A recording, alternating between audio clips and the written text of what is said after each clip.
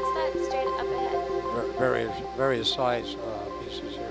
Is that starfish? Might be It some hard, like hard hand. ground underneath. If we could zoom in on that and get a screen grab. Looks like a mottled sea star. Oh no, it's Velcro sea star. Another Big one in the back there. Oh yeah, there is. So Orthasterias forreri. Maybe. That's great, thanks. Did we get our photo? Yep. Can we hold position, please? You want to zoom in on that? You bet. Yeah, it could be a gastropod burrowing in to create a hole Uh. that size. Or it's a little big for a tube worm. So sea stars have uh, eye spots on the tip of each arm that are light sensitive, so they're, it's really reacting to the change in light. And again, this is a fish-eating or Velcro sea star, Orthasterias. Really incredible high-def footage there. You can see all the tube feet and the spines on the back. Does anybody know what those pink things are in the upper part of the screen? Um, I can't really tell. Yeah, I can't tell from this footage. Yeah. Yeah. They seem to have kind of fallen. Yeah. It's interesting they aren't covered in any sediment though. It looks pretty recent. We may need to stop the ship if you want to do that here.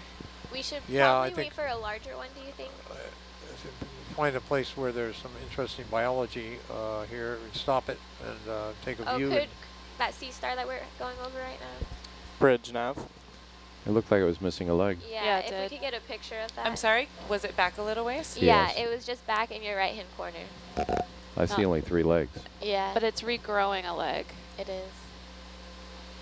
so that could mean it got chomped or Looks like it's growing back both two- legs. Yeah, both legs are coming back. It's a good sign of health.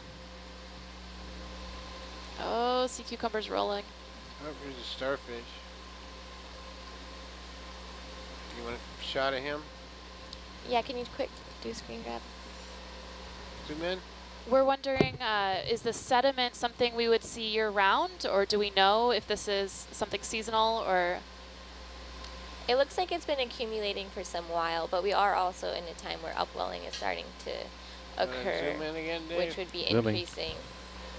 Based on how many detritivores we're seeing, I so are you setting I- down I for would think that- um, This is there's- accumulative. Yeah, You'll never, you'll never get a steady shot floating. Okay.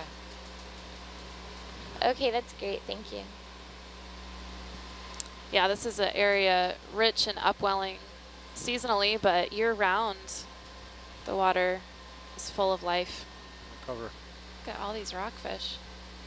So these copper rockfish And a rock. and a rock. And we saw a yellowtail, but the copper rockfish, as well as the yellow eyes that we saw a couple days ago, those are both federally listed as threatened species in Washington state. Are those little phoronids, or what are those little? I think they're zoanthids, but I'm not Zoanthids, yeah. positive. That's what I was thinking. Yeah. Looks like there's a little crinoid.